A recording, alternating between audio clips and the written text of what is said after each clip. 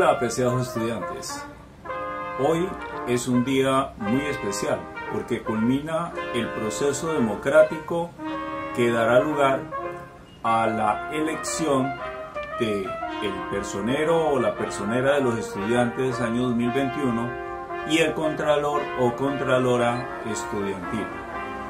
Esos dos cargos representan a cada uno de ustedes, los estudiantes de la institución educativa Julio Pérez Ferrero.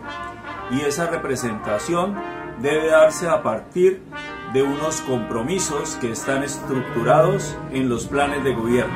Esos programas de gobierno deben cumplirse a cabalidad porque de lo contrario llevarían a un proceso también igualmente democrático que se llama la revocatoria del mandato.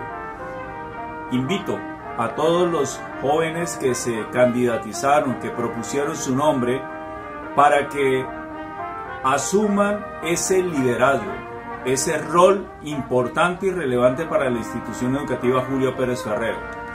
Cuando hablamos de liderazgo y liderazgo estudiantil, estamos hablando muy en serio, porque ese compromiso que ustedes muestran para con la institución es lo que permite que la institución sea lo que es hoy día en la región que es una institución educativa en el sector urbano marginal del municipio de San José de Cúcuta, pero una institución líder en la región gracias al comportamiento y alto desempeño de sus estudiantes, de sus maestros, de sus directivos.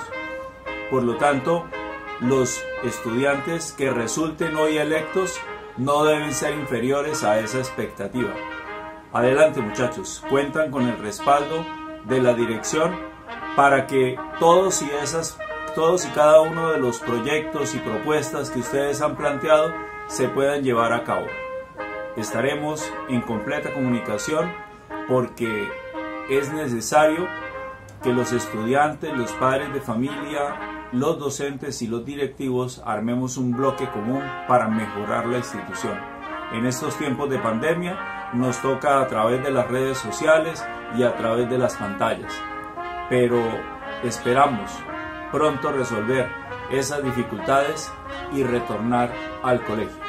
Un abrazo grande y continuemos cuidándonos mucho porque la pandemia no ha terminado, la vacunación no ha llegado y aún después de la vacunación debemos seguir siendo cuidadosos. Abrazo fraterno y un feliz resto de día.